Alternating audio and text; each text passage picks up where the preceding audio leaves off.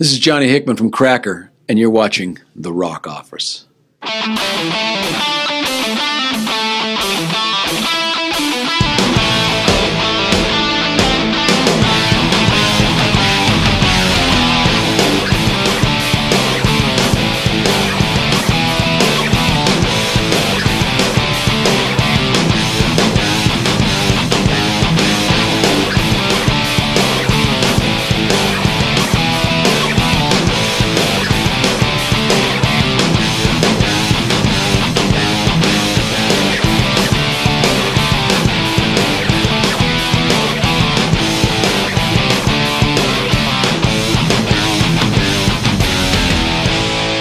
And you're watching The Rock Office.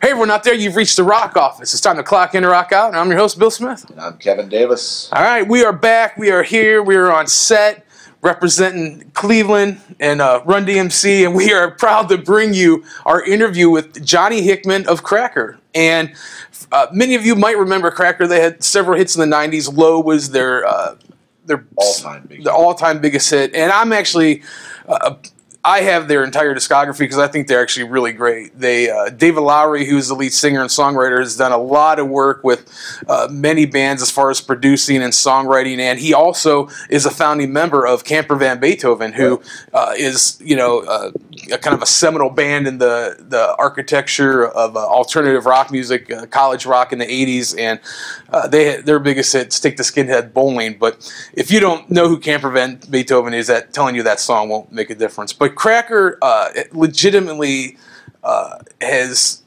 sold several million platinum plus albums. Low, like I said, was a big hit, and one of my all time favorite bands actually. And we had a chance to go to a new venue in Cleveland, Yeah. the, the Music Box Supper Club. Right.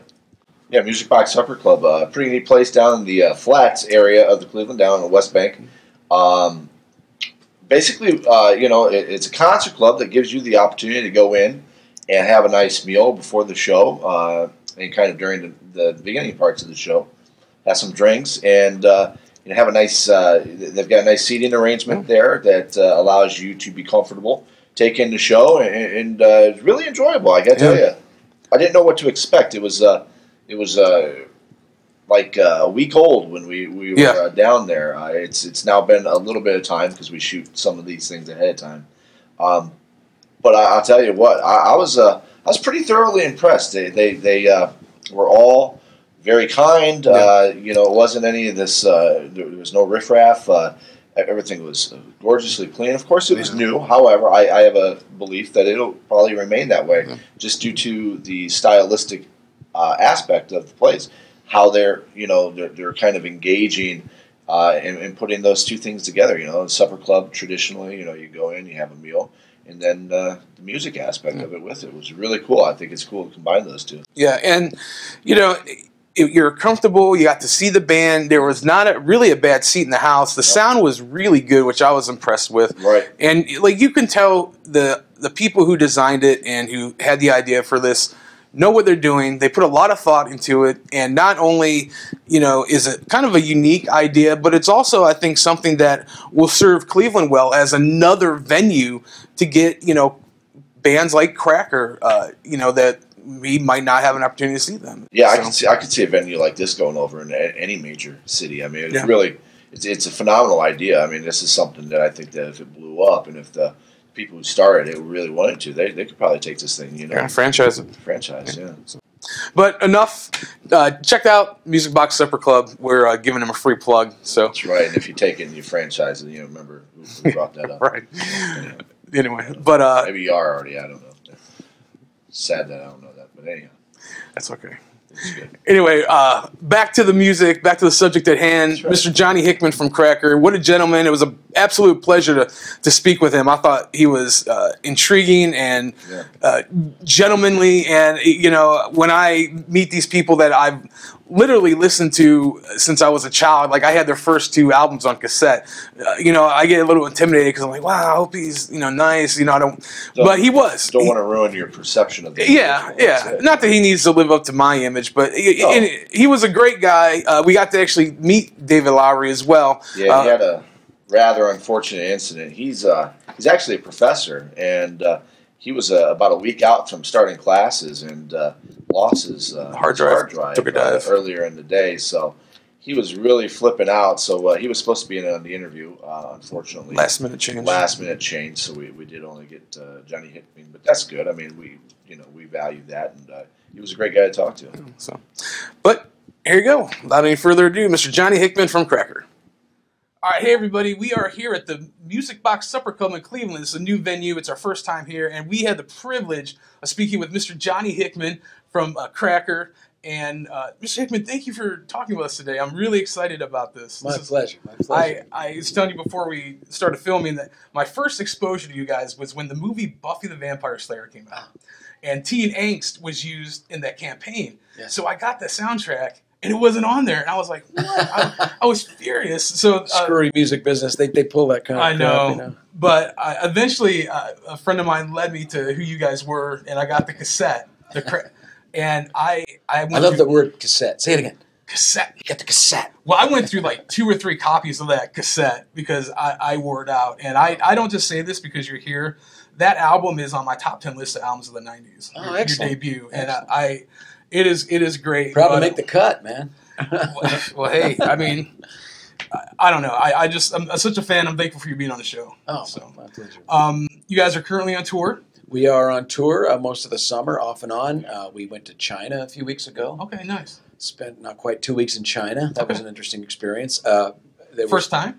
Yes, first Oh, okay. time, and uh, uh, the amount of red tape and bureaucracy was insane. Hmm. Uh, it took almost more effort than to go to China and play music, but Wow. it was really pretty funny.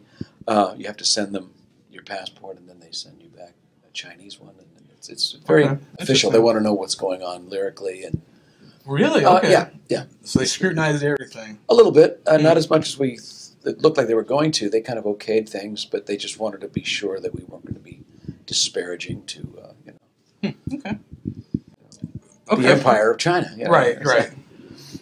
So, well, how other than those little red tape issues, how's the tour been going for you so far? Fantastic, fantastic. Uh, we uh, David is my partner, David Lowery in the band Cracker. That's our singer, uh, main songwriter. He uh, is teaching college at the University of Athens, Georgia, Oh, cool. Very cool. and uh, so we work around his schedule. okay. And he's going for his masters this year as well. So Oh, great. and uh, and every moment he has, he, we jump in the ro- on the road and we go and Hit play music. And uh, You know, you mentioned you guys two new albums coming out. Can you share a little bit about maybe the release date, the titles you guys are working sure, with? yeah, uh, working titles at this point, uh, we're calling it like a double, like a double record package, Berkeley to Bakersfield. cool. Uh, one of the records, as, as you know, as a Cracker fan, some of the stuff we do has a little bit of a country base, A Little. A little twang to it, um, and some of it is very British glam rock, and we sort of slam the two together and put a little soul and funk in there, and Okay. we put everything in the stew. Okay. And uh, David, being the lyricist he is and the singer he is, it always sounds like Cracker, and probably with my guitar, which is sort of like the other voice of Right. the band. You know, it's the conversation between the 2 Mhm. that kind of makes that Cracker sound. Uh, Berkeley to Bakersfield, uh, because we uh, recorded the first part of one of the, one of the records we recorded uh, with the guys from Kerosene Hat, Okay. Michael Urbano and Davey Faragher All right. uh, drummer and bass player, respectively. And uh, it's it's very rock. It's very rock cracker, and it's very uh, uh, got that little bit of soul. We grew up listening to bands like War and uh, Okay, Little yeah. Feat, band that had a little bit of funk with the rock, and a little bit of Mhm. more soul than funk, more than hard funk, more kind of a soul trip. Okay. Uh, we like War, we like Sly and the Family Stone, and we mix that with our Rolling Stones and Zeppelin influences, and Okay. somehow it becomes this thing. You know? Comes Cracker. Yeah, and uh, the other one, uh, what we're calling Bakersfield, wasn't recorded in Bakersfield, even though I played in country bands up there for a little while just before we started Cracker, David and I. Um, but we made, uh, a, a, we recorded a lot of songs with um, some very talented musicians from uh, Athens, Georgia. It's a little more country based. Oh, a okay. couple of David's uh, uh, sort of songwriter story kind of songs Okay. some fantastic stuff. But we've written a lot of stuff together with the kerosene hat guys, and just you know, it, it, it there's a chemistry. Okay. There's four guys, uh, the, the guys that made kerosene hat with us, it's always been David and I and there are hundreds of other musicians in and out. Right. And studio guys. We played with Jim Keltner, who's one of the best drummers in the world. Wow. We've Yeah. done stuff with Tom Petty and the Heartbreakers. Some of those guys have played on our records, and uh, Tommy Stinson from Replacements. Okay. And uh, you know, we've been really lucky. We've got some really talented friends, and Yeah. we've always we didn't set out to do it this way, but it kind of it's like a Steely Dan sort of model where they it's these two guys and they bring in whoever Okay. they think sounds right for a song, and that's kind of the cracker uh, modus operandi. That's awesome. and it's good. It's it's a lot a lot of fun for us because um, when we're writing songs, we'll say, you know, who would be good on this for drums is you know Miguel or you know one of our friends, um, and that's just sort of the way it's been. And um, from the start, we didn't specifically set it out to design it to, to be that way, but it just naturally just happened. Just I mean, progress. uh, you know, we had a record label before we really kind of had a full band. Mhm. And, you know, it was David and I, and uh, David was already signed to the label with Camper Van Beethoven. Right. And then when he and I got together after they broke up uh, and started writing songs together, they said, "Well, we like this song and we like that one." And David said, "Well, yeah, well Johnny wrote that one and that one, and we both wrote this one." So eventually they said, "Well, let's get this this Johnny character in here." Okay. They thought I was just his buddy from hometown, you know, Right. Which I am, but you know, uh, it was part of the sound of the new band, and uh, they wanted to call it Camper Van Beethoven, and we both kind of went, mm, "That's No. nah, it's Right. a, we're, we're doing we're starting fresh here." Totally different. Yeah, it's it's you know, Yeah. um, it's a different kind of thing we're doing. Yeah, so That's cool. All right, we are here, the Music Box. Mr. Johnny Hickman from Cracker. We're going to be right back.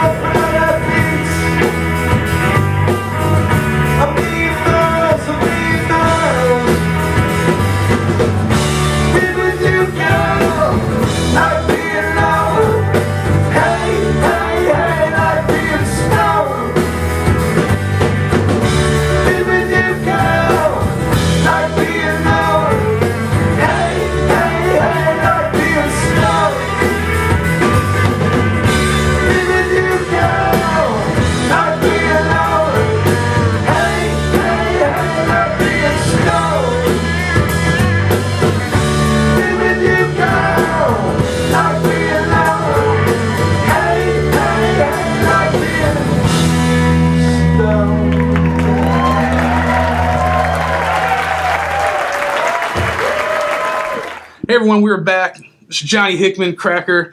Um, such a treat to be talking with you. And one of the things I always wonder about uh, bands, especially like a band with you guys, for instance, that has such a rich and diverse catalog. You know, what thought process goes into picking your, your set list? And if you need some suggestions, I have a few uh, for, the, for this you are evening. a fan. Oh, that's very cool. That's very Oh, cool. I you, um, it we, we we change it. There are certain songs. I mean, we've got hundreds of songs. So right, uh, right. And you can even probably dip into some CVB stuff. Sometimes we do. Yeah. Uh, David and I and Greg Lisher, the guitar player from uh, Camper Van Beethoven, just did a, a, a, acou- a semi-acoustic tour together, just Oh, as a cool. trio. All And it was so fun for me because they said, "Well, Jonathan's usually here playing violin. Why don't you bring your mando?" And I said, "I haven't touched the mando in a couple of years." Oh, you'll be great. Mhm. And so I ended up playing a lot of the violin parts on mandolin, Okay, cool. and it was just a blast for me because I'm a Camper Van Beethoven fan. Right. So Oh, I got yeah. to play all these great camper songs, Mhm. And uh, Greg played on some cracker stuff, and it was really, it was really, really cool. That's cool. Yeah, Two very, of my very favorite songs, and I'm not saying it because you're here. Another song about the rain. Oh, thank you. whole lot of trouble Oh, thank you. Whole lot of trouble was written on the Empire Records soundtrack. Yeah, a it's whole lot of trouble. Is, uh, I have another buddy of mine who I write songs with, uh, a buddy of mine, Chris Leroy, out Okay. of California, and that's mostly his song. And Okay. I added a couple little parts here and there, but we write a lot of songs together, and um, we're, we're a good songwriting team. David knows him really well. We're all from the same little town Mm-hmm. Okay. of Redlands, California. Okay. Chris is a great, great songwriter, and he and I had a band together called the Dangers. That Okay. uh, that um, they're they're back together now. I can't be with them because I got Cracker, Right. but uh, um, they play at our camp out festival that we have every year, and uh, David knows Chris. Uh, and David used to come see our band, the Okay. Dangers. He used to come and, and see us at the clubs when All he right. was probably like nineteen and sneaking in or something. Okay. you know? so Wow. yeah, So- yeah. Well, thank you for that. Another song about the rain. Uh, um, Oh man, that the first time on my cassette when I heard that, I was like, I I was literally blown away. I mean, that song to me, I don't know, maybe that's another one with Chris Leroy. Yeah, I, I don't know. Maybe to me, like I don't know, songs about rain and the songs about trains. I don't know. I feel like in my heart, like I have a connection to. And being at such a young age, hearing that song, it's always stuck with me. As Oh, thank you. uh, you know, and I just you know, what was inspiration behind it? Maybe you know. I wrote. It, it's a pretty long song, and Right. it was much much longer. I mean, I would just been through a really bad breakup. You can kind of hear that in the song. Mm, It's right. very it's very melancholy, very sad. And I had this big huge long song, and my buddy Chris Leroy came in and said, "You need to cut a lot of this out and make it shorter." So I did. You know, Mm-hmm. I edited out some of the verses and changed the the, the, the pacing of the verses. And he kind of rewrote it with me, and we used the same lyrics, although he shortened it down and, and uh, added that great two note riff. Da-da-da, Right. da-da-da. That was Chris. Okay. He's not exactly a lead guitar player, Mhm. but he had these two great notes, and I went, no, I, I, I like it like that. I'm gonna u- I'm gonna Yeah, finish okay. the song, and I'm gonna use your two notes. Uh, yeah, uh, that song seems to uh, to really resonate with, with people. yeah. Mr. Johnny Hickman from Cracker. You gotta love this guy. We're gonna be right back.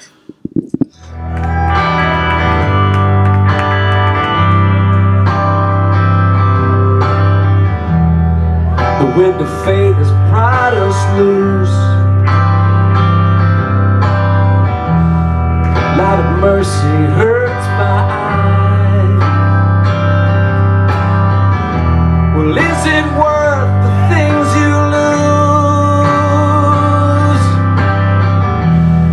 To board the train and watch the skies. I sing myself to sleep. Sing myself to sleep.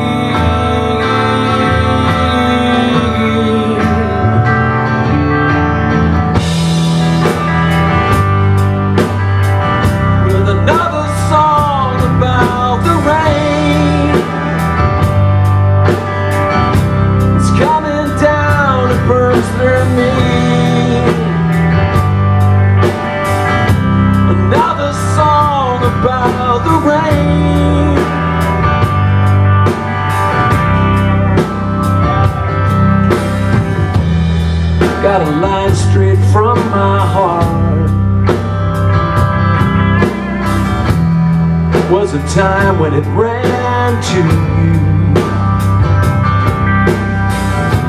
Another place when we were smart. before the flood and time was through. Well, I sing myself to sleep at night. I sing myself to sleep.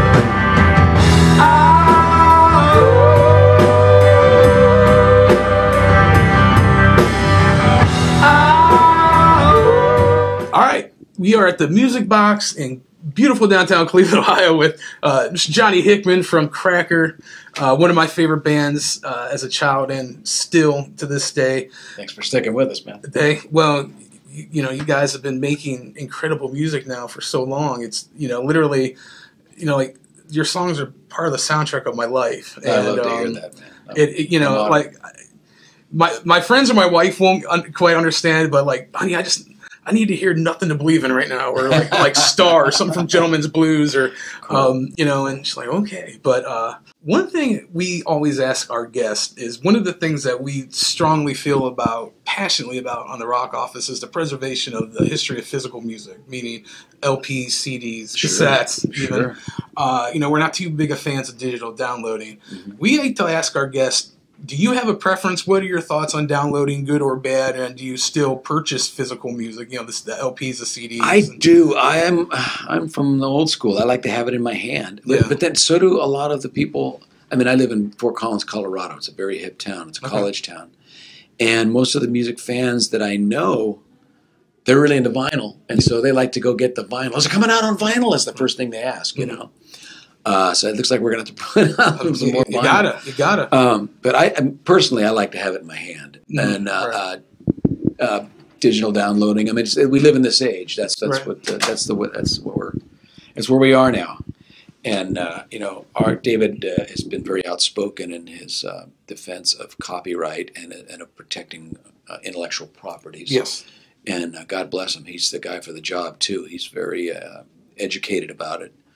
Um, he's a mathematician. He has a mathematics degree, and uh, and he's teaching. Basically, what he's teaching is uh, music business economics. Is, Oh, is kind great. of what he's, Okay. his his whole thing is about. And so he knows probably more about the subject than most of the of the uh, congressmen and senators who are making the rules. You know, Yeah, he wow. really does. He's, he's number one. He's been in the business that long, Mhm. and number two, he's made it uh, a point to study in depth the way the whole machine works. Okay. And when people steal music and use it for, you know, we have no problem with our fans burning each other a CD or you know emailing each other. That, that's I, I did that. I, ma- I, I made party CDs when I was a kid. You know, I mean, that's just sharing music. It's Right. turning other people onto your band, Mhm. and we have. No, it's not what we have a problem with. What we have a problem with is people that use uh, music without permission and make a lot of money doing so. Okay. There are some very big corporations out there who, uh, you know, with the streaming, they're making they're making a lot of money and they're paying the artists pretty much nothing. Spotify, Pandora. Yeah, with right. all these companies. And uh, to give you an idea, there was one deep album track from one of my solo records, uh, and uh, it got something like four four thousand plays, Okay. uh, close to four thousand plays that year, uh, a couple of years ago, and my take was 0.9 cents. So Wow. that's kind of what you know, they can technically say they're paying us, but Is that per play or no, that was that was my that was my take. So we got to. They, they haven't quite figured this out yet. Yeah, You know, there has to be a way to. I mean, that's how I feed my kids, man. Right. You know, Wow. uh, I can't feed them That's- just on T-shirt sales. You know, that's and if terrible. if you if you have a, a, an artist or a band that you really like, I mean, help them help support them that way. I mean, if you pay for some of their music uh, and pay for tickets to the shows, obviously, or a T-shirt or a poster or whatever. That's how we make our living. That's you know, as if you were a plumber or a carpenter or a nurse or anything else anyone might do. You don't want to do that for free either. You know, Right, so right. uh, if you want bands to be, if you want live music to continue, then support your artists. Yeah. Because there's no other way. Exactly. We can't do it. It takes a lot of time and it takes a lot of effort and a lot of uh, money Yes. to make a record. It Mhm. does. It takes a good chunk. Well, not know. just that, the years it takes to perfect your instrument. Sure, and, and, and to get better at it, and uh, you know, Yeah. these are uh, hours that we spend because we love it, but it's hours we could be spending uh, working a day job or doing something exactly. else. Exactly. So you know, help us sustain it. This is what I tell people. Just help us keep it going. Last question.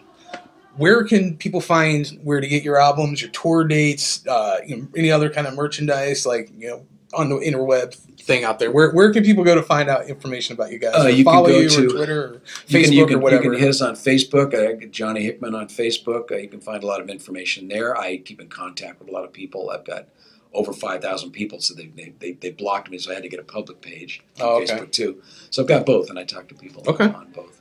And uh, you can find out there, or you can go to Cracker on Facebook. Okay. And we have a page there, and we have a website, uh, uh, Cracker Soul, Cracker Soul. crackersoul.com. Okay. Cracker Soul was uh, just sort of what we call our music. You know, Mhm. One day we asked each other, "What is the kind of music we make?" Oh, I guess it's Cracker, Cracker Soul, Soul. music, you know, or white guys. Like, well, And, uh, obviously. Oh, what was really great is when we met Dr. Dre uh, back in the day on MTV, and he was Okay. walking down the hall, and he said, "You call your band Cracker, huh?" And we went, "Yeah." And he went. That takes some balls, man. he loved it, man. He just cool. He wanted. He, he, he gave him a T-shirt. That's He's awesome. like, that's, that's pretty ballsy, man. That's awesome. Yeah. Well, Mr. Hickman, it, it's been an honest pleasure speaking with you. Thank you for taking your time out. My and, pleasure. And um, I, I got to get some autographs and stuff before Absolutely. I leave. So, Absolutely. but um, the legend himself, Mr. Hickman, Johnny Hickman from Cracker. We're going to be right back. Cheers to you. All right, we are back. Mr. Johnny Hickman from Cracker at the Music Box Supper Club in the West Bank Flats, Cleveland, Ohio. What a great guy. Really appreciate him uh, speaking with us. I want to thank his manager and publicist, Tony, for arranging everything. These guys are great. If you like, you know, what they've done in the past, you know, they, they stay true to who they are and they, they do awesome alternative country hillbilly, rockabilly, whatever you want to call it. Uh, but it's great. I'm a huge fan. I love what they do. They were great live in concert that night. Super, good, imp- yeah. super impressed. And like I said, I it was just such a pleasure and a treat to speak with them. I had such a great time. So, Mr. Hickman, thank you uh, for your time, and uh, you know, hopefully you enjoyed this interview as well. Absolutely. And speaking of enjoying interviews, uh, you know, we we, uh, we invite you formally to our uh, website uh, at uh, www.therockoffice.com. You can uh, check out not only this uh, video there, but you can also check out some of our past uh, videos. We don't have all of them up there, so if you want to check out every episode that we've ever had, you can hit the button at the bottom of that page and take yourself over to YouTube, where we've actually got all of them archived. A little easy to archive on the free archiving. But anyhow, we we, we, we appreciate the the love that you guys continue to show us on Facebook over at facebook.com slash rock office. Bill? Uh, you know, Facebook, Twitter at the underscore rock underscore office. Uh, you know, also we are now on Vimeo. Here's the address, another avenue to catch our videos at. You know, iTunes podcast, and you know we just also want to thank you guys and mention that we do have merchandise on our website. We have stickers and T-shirts. We appreciate anything that you do to to help us fund what we do so we can bring it back to you. And uh, we know that you guys are enjoying what we're doing because of the awesome feedback that we're getting from you guys. So we thank you for that. Keep that coming as well. But as always remember support your local independent record store by buying the, the physical copy of the album instead of the digital download. And we'll see you next time on the rock office. Take care and god bless